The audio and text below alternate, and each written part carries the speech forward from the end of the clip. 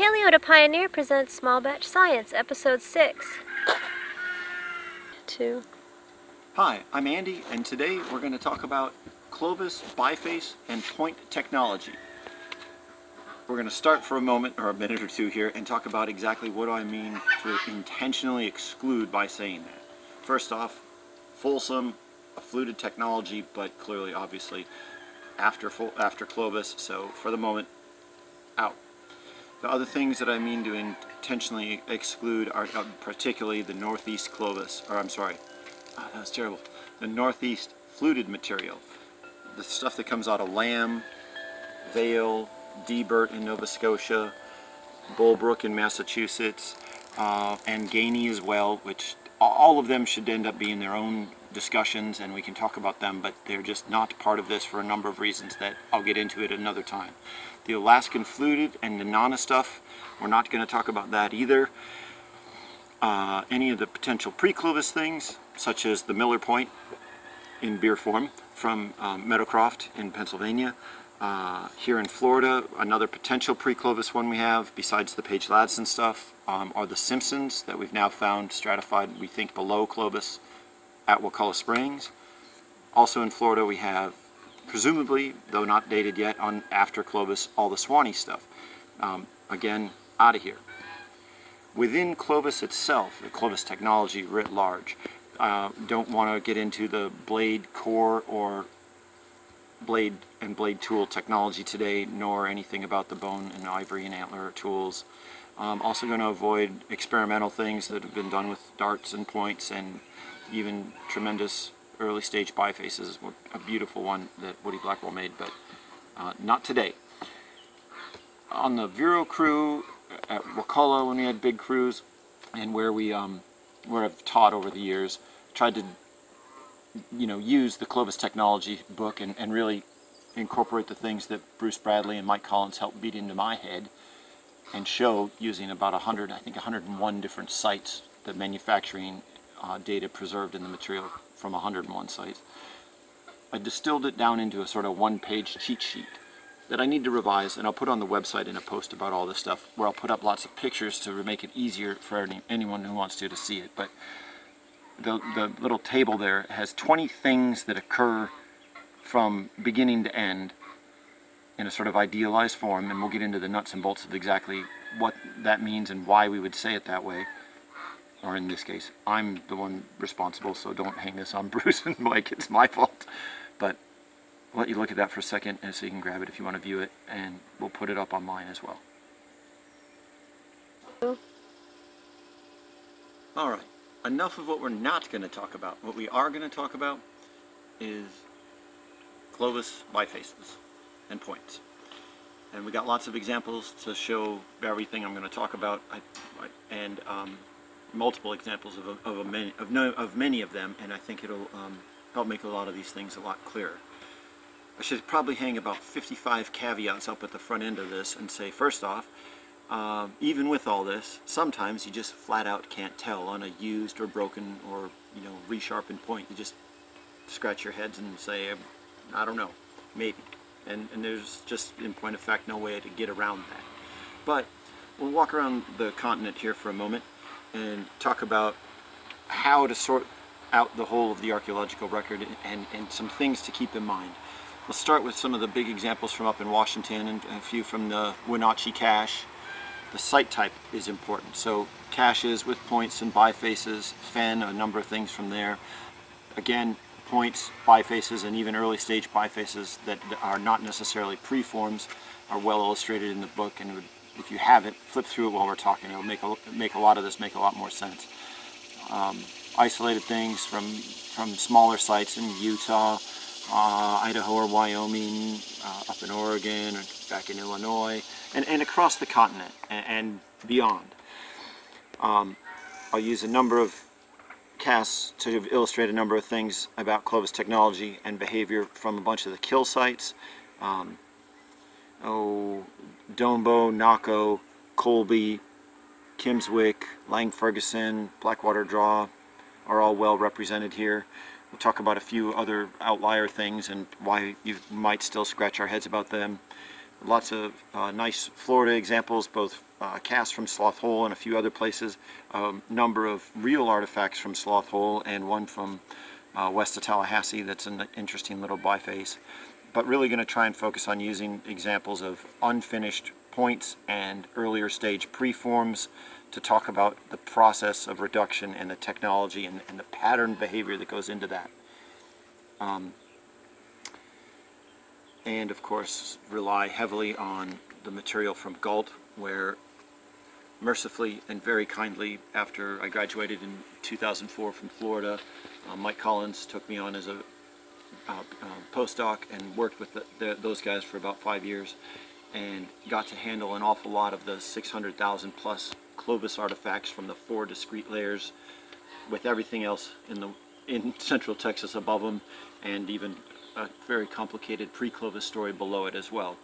Um, we'll kind of go through a bunch of the things that were in that one-page sheet and just talk about the things that went into the Clovis Technology book, um, the section about making these and what things we should expect to see on Clovis points.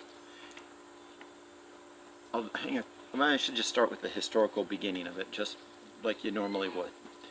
So these are a number of the points from Blackwater Draw. The original Clovis excavation in 1936 included these two, along with the two bone and another four or five stone Clovis points with the two mammoths that uh, John Cotter and um, E.B. Howard dug.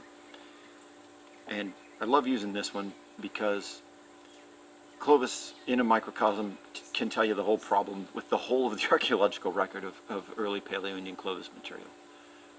Clovis sits in Portales on a very lithic poor part of the North American landscape. That this stone, probably some Edwards Plateau stuff that came from in excess of about 200 miles to the east. So they're hanging on to it. This point has been heavily resharpened on both sides. You can see lots of little tiny pressure flakes up and down it. It doesn't really look like a very good Clovis, and, and that's in part because of the strategy employed at that time. I used to have a cast, but for obvious diminutive reasons, you can tell why we lo why I lost it, is that little thing was found in the 60s in another mammoth. That somebody actually put that on the end of a dart and went mammoth hunting successfully. And that's sort of a strange point we'll bring up with um, a lot of the kill sites, is that the points are really quite small. The largest point that's ever been found at any of the mammoth or mastodon kill sites is 125 millimeters, and I confess I don't have one that quite that size but about, about like this. Everything else has been smaller, and some of them much smaller. And in fact, a lot of them are much smaller, and, there, and there's reasons for that. Not just simply where they are on the lithic landscape, but two other factors really need to go into consideration here. The constraints of, or lack of constraints, is really the more important thing at manufacturing, but the, the constraints of material quality and material package size are critical. And when you sort of incorporate those by site type with where you are on the lithic landscape, now that's a mouthful, right? But when you think about things with shuffling the deck in that regard, suddenly the totality of the archaeological record of Clovis, at at least site or assemblage level, should start to make a whole lot better sense. And we'll run through some of that stuff now. So,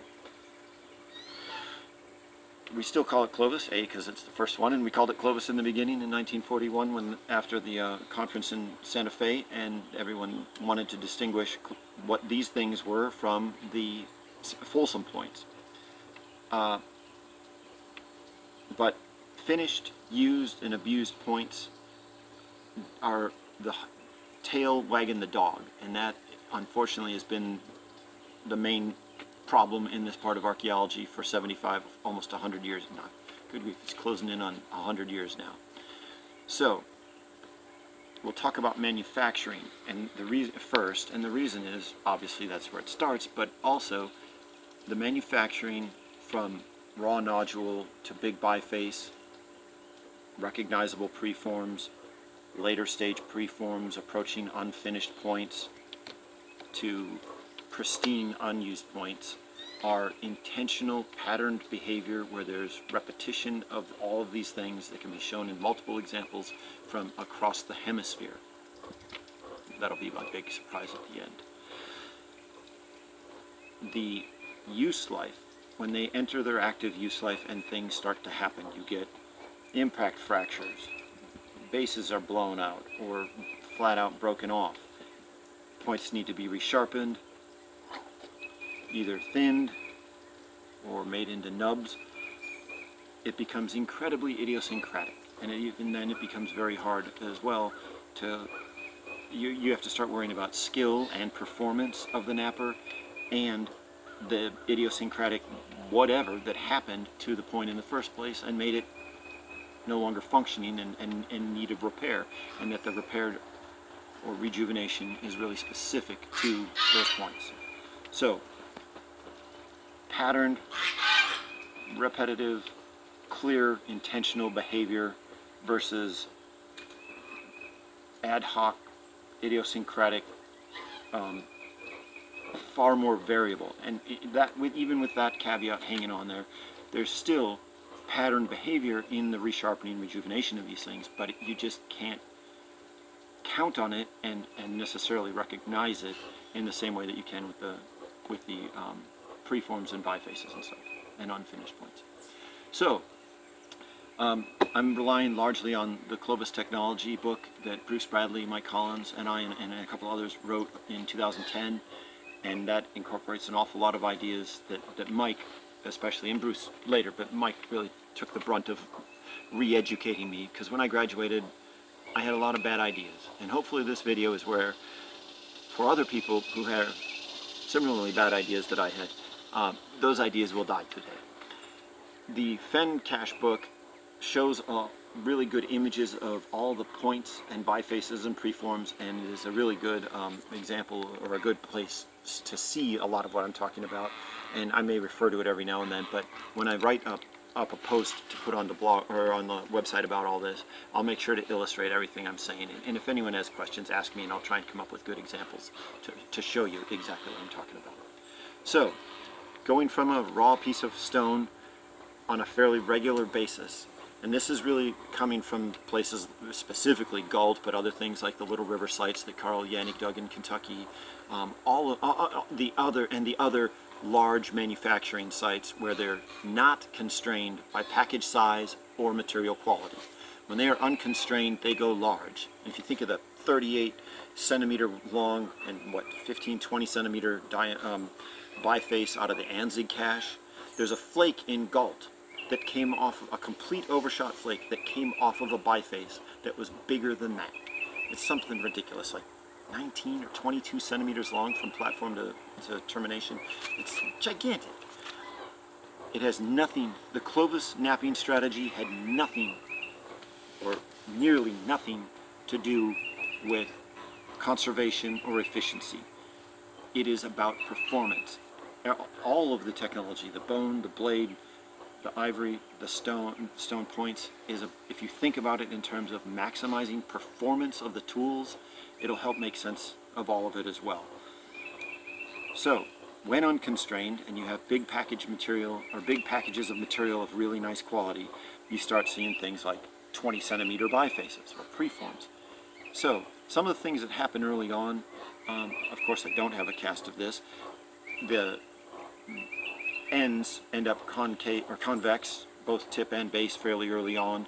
They start to regularize the edges with opposed alternating flakes, which is something that um, uh, Bruce Bradley described early on in the Agate Basin book back in the 80s and has elaborated in other articles and, and really is in full form in the Clovis Technology book. They also flute early and they flute often. And a lot of those things we threw out as not being Clovis that I'm not really addressing. One of the things that really is a distinguishing characteristic is that Clovis sometimes fluted very late as a near last step to finishing a point, but it is the exception. It is not the rule, and normally, and this is where the Fenn books got some great examples, um, early preforms and very, very even earlier bifaces oftentimes have a flute that's coming in at about a 45 degree angle, maybe 30 to 45 degree angle, and what they're doing is intentionally not driving it down the center of the biface. That comes a little bit later. Um, and the reason, and this is again in big packages, um, part of the reason for that is to avoid, you know, um, diving hinge fractures like on this little guy from that happened at Kimmswick. They do the same kind of strategy out on the tip.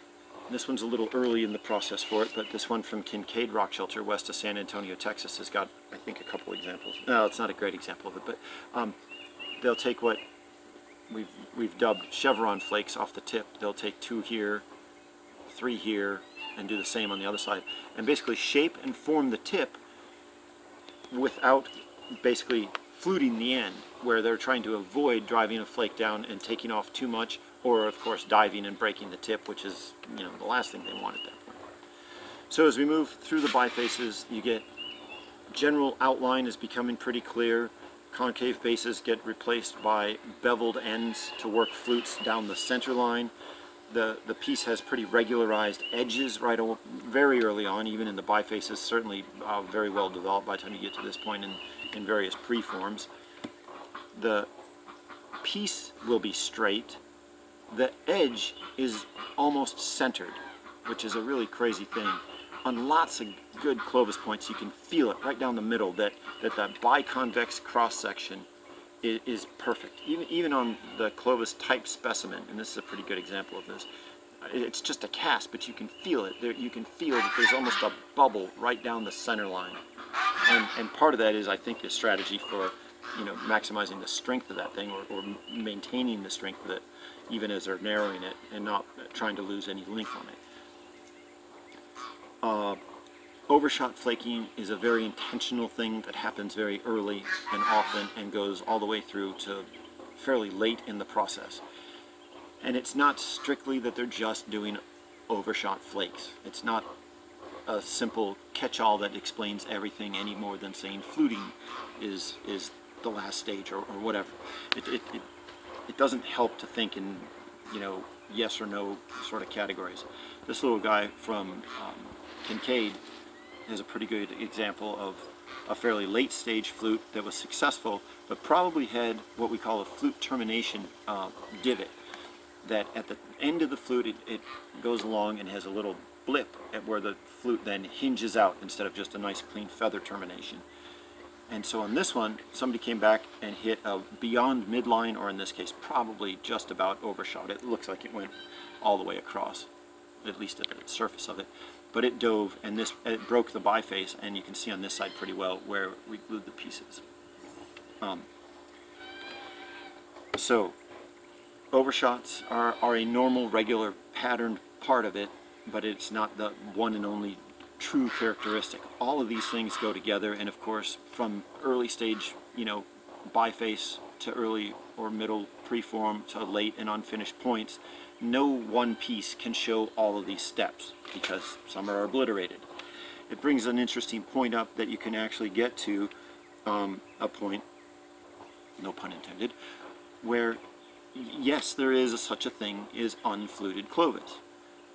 It probably was fluted. It probably um, there's no reason to not consider a, a Clovis, you know, a, for whatever reason, a, un, you should not consider it an unfluted technology. The problem is, as things get resharpened and rejuvenated and kept alive, actually this one's probably the best example of it, because it's so heavily resharpened, the flute is greatly reduced. It's very heavily obliterated and it's obviously still fluted on both faces, but it's getting harder and harder to see it. And that is an important distinction that, that I need to make as well. That at big manufacturing sites, unconstrained by package quality or, or size, uh, they go huge, go after tremendous things and some virtuoso performances, creating gigantic things. This is ridiculous. What would you do with that? Poke your little sister? It's not, you're not, it's not useful. Somebody's showing off. They're still showing off. Oh, here, let me do diagonal ribbon flaking up one side and down the other. Oh yeah, no, we, they gotta be like that or they'd never work. The ability of the, the master's level Clovis knappers is preposterous. The skill level is, is unbelievable and the performance preserved in stone is really something to behold. So when you see these things and realize that, you know, I showed the biggest Clovis point and one of only a couple or three uh, diagonal ribbon flaked points, they're uncommon, but they're showing exactly how good these folks were. So overshot flakes are not an accident. Beveling to isolate platforms to knock flutes off is the norm, but it's not exceptional. It's just how they did things. What's exceptional, and this is an example from Thunderbird in, in Virginia, they did on occasion isolate little nipple platforms and then remove a flute. And, and these, maybe they're doing them with um, some sort of uh, third-party aid, but uh, the normal pattern is freehand percussion, just knock them off. Knock them off early and just boom. The distinction that I wanted to make that I hadn't really said about manufacturing versus, um, say, the kill sites or when things are being used and are out on the lithic, out in the world being used, is that um, not only is it idiosyncratic, but the, the behavioral um, strategy changes. It changes from I, I don't have to be worried about wasting stone. I can make as big or as little or whatever or as many of a thing as I want to uh, holy cow, we're 200 miles from there and uh, what 70 kilometers from the nearest stone of, that's usable to them in any sense. We better make it last. Same thing you see with a, a lot of the other sites where, or, and I'm using kill site point examples in this case, um, because that's what they had and when they encountered mammoth or mastodon, that's what they used. And some were earlier in the process and, and heavily resharpened as well at Kimmswick in Missouri. And some were just about used up and finally at, at that spot were used up. And so there's a real, a couple of real good examples of um, seeing Clovis people that haven't mapped onto the landscape yet. These are from Lange Ferguson in South Dakota. They were with the adult and juvenile mammoth that uh, Adrien Hannus and crew excavated years ago with all the bone tools and stuff. Work to a nub. Tiny little... Uh, you want to go after mastodons with that? Or mammoths? Probably not. But they did, and successfully so. And the thing that's really interesting here is they appear to have not yet at that point found an unbelievable stone source about a kilometer away from the site. Some, think it's white naviculite and they could have made anything they wanted but either they hadn't been there yet and obviously they were otherwise engaged doing something else with the mammoths but um, it um, is a pretty good indication of the change in behavior from I'm going to make whatever I want to holy cow I got to find a way to make that work but if you think again in terms of maximizing performance. When you're using stone from Gault, you can make any big old thing you want. And when you've wandered into the middle of South Dakota and don't know the area yet, you better keep those little nubs alive. The first time I saw a picture of this, I think it was on the back of Tankersley's book, and there was no scale, and I had no idea how he got a picture of that point from Sloth Hole. And of course, if you do the fish trick, you know, are they the same size now? technologically, morphologically, very, very similar. Um, haven't really bogged down on morphometrics and morphology yet. I'm not a fan. These are not biological ent entities. They do not reproduce themselves, and they are subject to the limitations of performance, skill, material quality, package size, and any other number of things that just don't translate well into measuring length and width and ratios and stuff like that. That said, I'm all, I'm all for it, but it's not probably telling us what we think morphology and morphometrics are telling, is telling us. And that if you do that kind of work or analysis instead of the technology, you end up with articles where all the eastern stuff, number of Clovis sites, uh, I think some stuff from Big Eddy in Missouri, and other, one of the last articles about Clovis morphometrics had four other kinds of points included because they didn't look at things technologically and sort things out either chronologically, geographically, or technologically. And that's really the one I'm harping on here, but the others will come up in the other videos when we, when we do talk about those things. So, trying to think here. with all the caveats and talking about the various size and stuff, um, there still are issues that become difficult to see and distinguish and, and make a positive comment on. This is one of the, the two little Clovis from, or I should say one of the two little fluted points from Shawnee Minisink in Pennsylvania. And technologically, I mean, it's tiny, but technologically, I don't have a problem. I think this is Clovis. I don't have a problem saying that. I could be wrong, and I'd like to see the real ones again and think about it a little more. But um, it, it seems consistent with what we've been talking about here and what we see at you know other sites and in other kinds of things. I'm wavering on the Sheridan Cave Point from Ohio. Very little tiny guy, heavily resharpened at the point, starts to look like that one a little bit more. Um, is the strange outline a function of simply the fact that it just got resharpened to a, a sharper point right at the end of its life cycle? Uh, maybe, I don't know. I, I, intended to hold this up as an example of um, I don't know or I don't think it's Clovis, but the more I've looked at it, the more Clovisy I feel it is. But that's a highly unsatisfactory answer. I don't know. It's probably a reworked Gainey or something, which we will talk about another time. Um, but I use those as an example of something that's really kind of important here that that I like to use as an example um, from some work that um, Tom Label and Steve Nash and I have done looking at the Minier site, which is from about 10 miles um, away from St. John's, Arizona, up on, up on the um, up on the plateau. In the 60s, uh, uh, Graves and, and uh, William Longacre collected a bunch of material and tried some subsurface testing, but not, not a whole lot of luck, and found two very distinct, distinct clusters of stone, and one of them, it turns out, is absolutely screaming Clovis. The um, Tom and Steve and I gave a paper at the SAAs a number of years ago um, where we talked about what we'd seen in the Field Museum and showed a lot of the things and uh, very clearly Clovis technology from start to finish. There's probably 50 or close to 50 preforms and point fragments in the assemblage um, and the beautiful thing we noticed was two blade core tablets, one of which was like knocking the top inch off of this thing to rejuvenate the rejuvenate the flakes, or I mean the um, platform. So if you just bang, knocked it off, you have a hockey puck with a bunch of little short scars on the end. It's very clear there are two of them, not not a problem. But the issue with the site there is that it's a they had really good quality material. We identified 18 different kinds, and there's probably a couple more petrified wood, obsidians, other uh, jasper, and a couple of other really interesting, beautiful materials. But 18 different kinds that are coming out of river-tested and beat to death potato-sized cobbles. That quite literally, wonderful material in a package size that's just very hard and it is not going to allow for easy reduction.